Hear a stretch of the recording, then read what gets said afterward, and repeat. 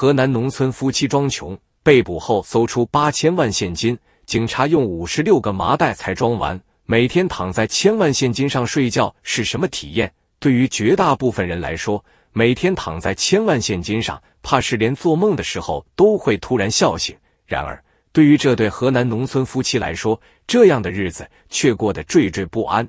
他们的床下足足存了八千万现金。但是他们却不敢花，更不敢往银行存，直到他们被逮捕，床下八千万现金被查出，同村的村民们才知道他们竟然这么有钱。那么，这对农村夫妻的钱是从哪来的？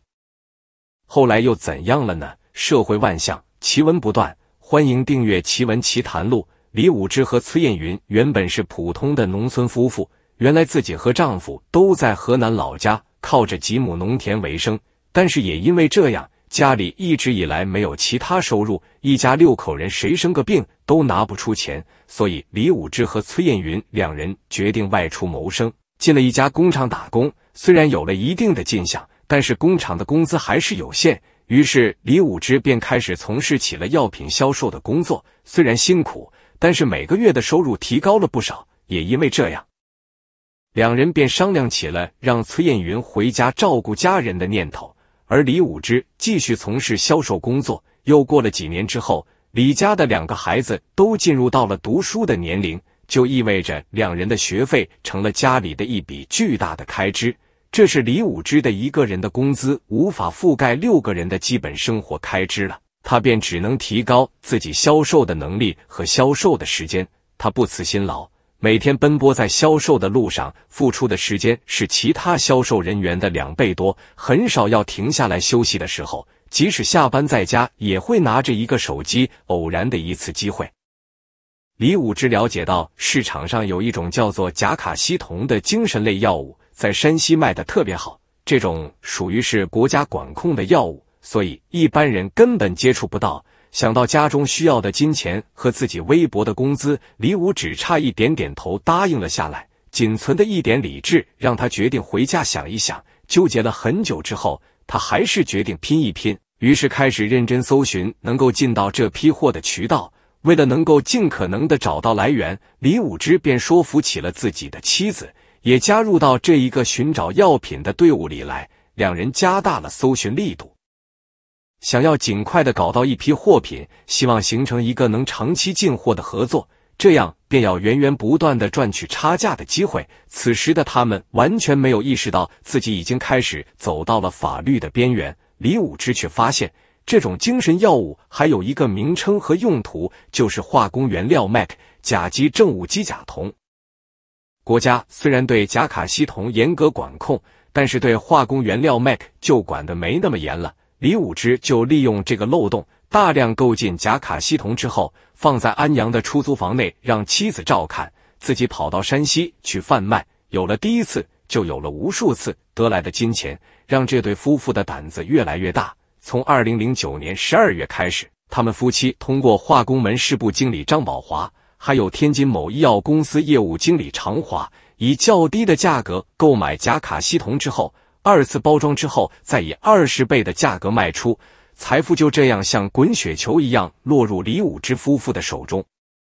但是有了钱之后，他们怕因为突然增多的财富暴露，于是想尽各种办法藏钱，亲戚朋友那里藏一点，然后买房、买黄金、买基金，不仅以他们的名义买，还用其他的亲友的名义买。就这样，还有为数不少的现金放在家里不安全，存在银行又不踏实。他们就把钱藏在老家的一个破房子里，每天晚上睡在钱箱子上。李武之和崔艳云获得巨额财富后，却并不知道该如何花费。他们生活简朴太久，一下子暴富让思维变得迟钝。比起花钱，他们更担心暴露身份，因此生活反而更加节俭了。他们把大部分钞票收藏在家中，担忧会引来窃贼，搬来搬去数次，还分散藏放，防止全部被盗。白天，他们数钱数到手软；夜里，他们则辗转反侧，睡不着，生怕有人盗取。终于，李武之想出了保值思路，决定把部分钱换成黄金储存。他和崔艳云几次到金店购买黄金，一举一动都小心翼翼。出门在外时，两人连看一眼别人都不敢，生怕被认出来。他们担心银行职员看出端倪，更担心路上的行人都是警察。购买黄金的过程异常艰辛，然而获得的只是多一层焦虑。就这样，他们将黄金束之高阁，却依然提心吊胆。因为抛开财富不说，生活并未因此变得更加幸福快乐。与巨款相比，内心的空虚感却更加明显。李武之和崔艳云经常在深夜躺在床上，望着头顶散发金属光泽的黄金出神。他们不再为生计发愁，却也失去了生活的积极向上。李武之和崔艳云就这样在惴惴不安中度过了鸿门宴般的两年时光。他们原以为巨款能带来安稳的生活，却万万没有想到结局是身陷囹圄，通过贩卖新型毒品。李武之和崔艳云夫妇可以说是赚了个盆满钵满，身价一度达到了上亿。但是随之而来的还有无尽的苦恼。他们俩育有一儿一女，儿女都已经懂事，但并不知道他们的所作所为。为了儿女的健康成长，同时也担心贩卖毒品的事情白露。夫妇俩不敢花钱，更不敢存钱，生怕跟着自己穷惯的儿女会突然问起自己哪来的钱，更害怕银行卡账户里突然多出巨款后，国家相关部门会起疑心。因为这事，夫妇俩曾多次想过干最后一票就收手，但在巨大的利益面前，他们却一而再、再而三的继续干最后一票。无奈之下。赚的钱大部分只好存放在不常居住的两处房子里，用纸箱子装好放在床下；也有一部分则是以知己亲戚的名字买成了房产，买成了基金、股票。然而法网恢恢，疏而不漏。二零一零年，一直和李武之合作的工厂因为原料涨价，生产方面投机取巧，以至于生产出来的原料不纯，双方不欢而散。但是工厂原老板却私下偷偷售卖这批不纯的原料，被警方盯上。袁老板为了立功表现，将李武之在背后的事情供了出来。根据袁松明的供词，公安同志们得知李武只会在三月四日和买家进行违禁品交易，于是警方迅速行动，在现场成功逮捕了正在进行交易的李武之。当李武之被带回警局的时候，崔艳云还在家里做着衣食无忧的美梦。直到警察上门，从他家屋子里查获高达八千万元的现金和大量违禁品时，崔艳云才意识到不对劲。经过搜查，警方在崔艳云家中查获大量的现金和制作假卡西酮的原材料，以及高达二点八吨的违禁品。这也就出现了文章最开始的那一幕：村民们看着从崔艳云家中搜出来成捆的现金和违禁品，纷纷感到难以置信。还有人说。他们家明明很穷啊！对呀，我还给他们送过旧衣服呢。其实也难怪村民们会感到惊讶和意外。通过这种不正当生意，李武之夫妇早已赚得盆满钵满。根据粗略估算，他们家的现金、股票、基金等资产加起来已经超过两个亿了。可毕竟这些钱来路不正，他们拿着这么多钱却不敢花，更不敢存在银行，只好藏在家里。甚至把现金放在了床底下。警方将崔艳云缉拿归案后，在崔艳云的带领下，才最终找到了他们藏匿现金和毒品的窝点。后对他们制作的工厂员工进行抓获。